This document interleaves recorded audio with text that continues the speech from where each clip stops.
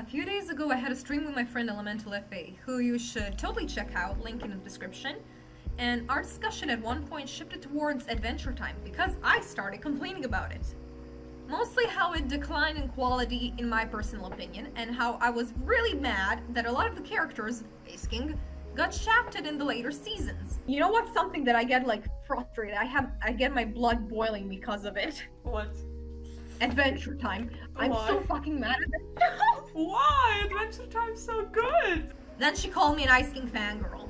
Here's here's my analysis of why it doesn't work. Okay. Okay, so the problem is they did they abandoned all the plot lines, specifically the best plot line, Ice King, aka Simon Petrikov. He had the best Listen, story. just because you have a crush on Simon doesn't mean. And look, I'm not here to deny that, but it made me start thinking about the years and years of mockery I experienced as a Simon, aka Ice King fangirl. We are just not respected in this society, you know? And I'm here to fucking change that. I never understood why people don't respect my boy Ice King as much as I do. He has all the traits. He is quirky XD. He is sad and lonely and also has a tragic backstory. He he's possessive, which all the girls find super attractive for some reason in their anime boys. And that was when I realized. It's because he's old and ugly. You shallow fucking people, you don't get you don't get the quality, the absolute master quality of this character just because he's old and has a beard and a big nose.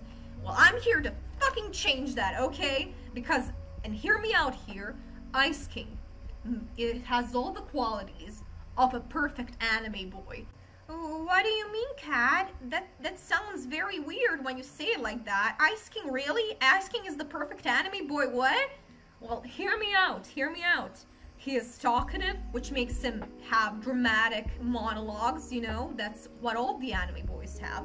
He is quirky, which makes him be unique, you know? He is sad, which it translates into angsty and mysterious. He is lonely, aka unfit for society. People don't get him, he's misunderstood. And he also has stalkerish tendencies, which translates into a yandere if you really think about it. If Ice King was an anime boy, you guys would be all over him. But you aren't ready for that discussion yet. But I'm gonna start it anyway. So basically, I told my sister about my big brain idea to make Ice King into an anime boy. At first, she responded with concern and mockery. But then I made her realize that this is the most memeable shit ever that would make a great video. And then she was on board.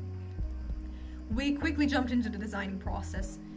It was much harder than I initially anticipated.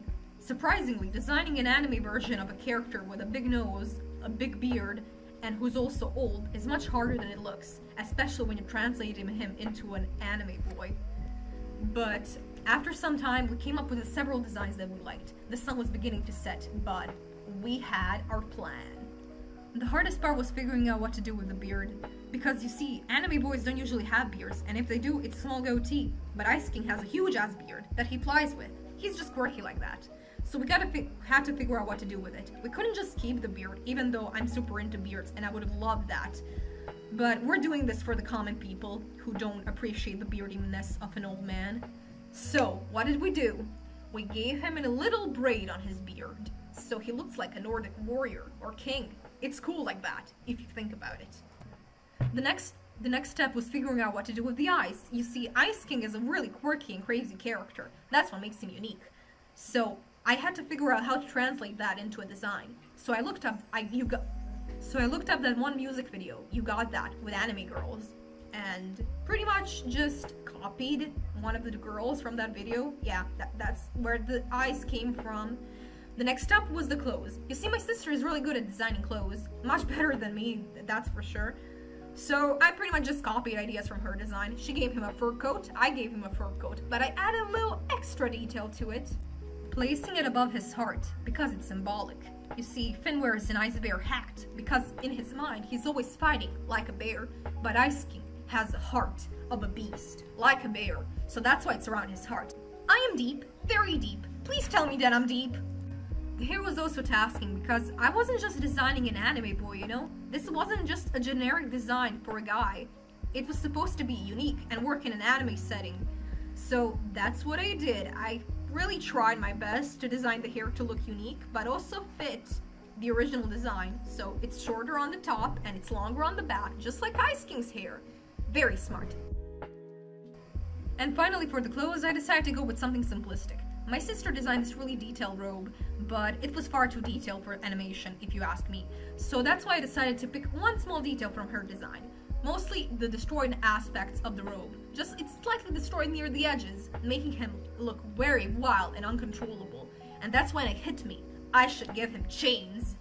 So to explain the chains, I will have to talk a little about his backstory. So spoiler warning, to make the story short, he was once a human man called Simon Petrikov and he lived in a normal human world. He had a job, he had a fiance, life was good. Then he went to this expedition to Scandinavia and found this ice crown. Basically, he put it on his head to make his fiance laugh, but the crown was cursed and made him act very, very horrible to his fiance, made him act insane, sprout crazy things, and he scared her off and she ran away and he never saw her again. And what happened next? Basically, a war broke out, and while he was dealing with the ice crown changing his body, making his hair grow white, his skin turn blue, his nose grow, all this shit, um, the war broke out, and basically, humanity pretty much died. Later, he was one of the few survivors, and he had to take care of this little girl, Marceline. And that was this whole story. During that whole time, he kept losing his memories. He could not remember who he was once he wore that crown. He, all he knew is that he wanted his princess back, his fiance. And that's why, in present day, a thousand years later, as the Ice King, he captures princesses because he wants to find his princess. That's legit so fucking sad, and oh my god, it's such a good backstory. So yeah, that's why I gave him chains. Because first off, chains are fucking hot. Second off, because the crown is literally chaining him from being free, from being able to remember, from being a normal person again. It's so sad, but also kind of stupid when you think about it, the chains thing, because it's so cringy, but I love it, and that's why I gave him chains. Pretty much, Ice King is a babe, and I love him so much, and now you will be able to love him too, because he's a sexy anime boy. Because you're shallow like that. Fuck you. Anyhow!